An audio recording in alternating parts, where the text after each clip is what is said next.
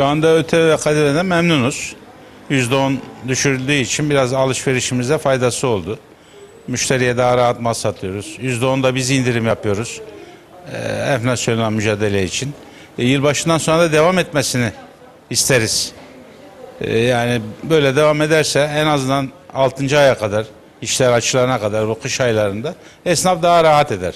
ÖTV indirimi bitse dahi hükümetin desteklediği ve Maliye Bakanımız Berat Albayrak'ın öncülüğünde yürütülen topyekün enflasyonla mücadele kapsamındaki indirim devam ettiği sürece ÖTV'nin herhangi bir şekilde bir e, bitmesinin bir e, zarar dokunacağını, pek zarar dokunacağını düşünmüyoruz. Konut, otomotiv, mobilya ve beyaz eşya sektörlerine sağlanan katma değer vergisi ve özel tüketim vergisi indirimlerinden faydalanmak için son 10 günlük sürece girildi. Hazine ve Maliye Bakanlığı tarafından konut, otomotiv, mobilya ve beyaz eşya sektörlerinde uygulamaya konulan katma değer vergisi ve özel tüketim vergisi indirimleri 31 Aralık'ta sona erecek. ÖTV e, indirimlerimiz beyaz eşyada bir hareketlilik kazandırdı. Bunun devam etmesini bekliyoruz devlet büyüklerimizden. Bu sektöre biraz daha katkı sunar.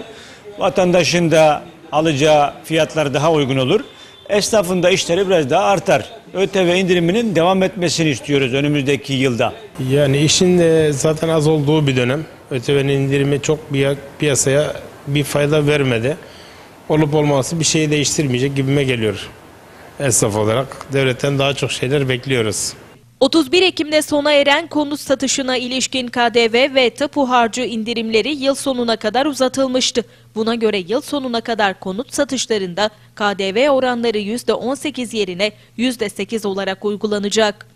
Tapu harçlarında %4'ten 3'e indirim yıl sonuna kadar devam edecek. Mobilya sektöründeki KDV oranı 31 Aralık'a kadar %18 yerine %8 olacak. Beyaz eşyada uygulanan ÖTV oranları da yıl sonuna kadar sıfırlanmış olarak devam edecek. Zaten hani e, şu an dolar ve euronun artışıyla müşteri kitlemiz aşırı bir düşüşte. Fiyatlarımız hani elimizden geldiğince indirim yapsak da bazen hani müşteriye cazip gelmiyor.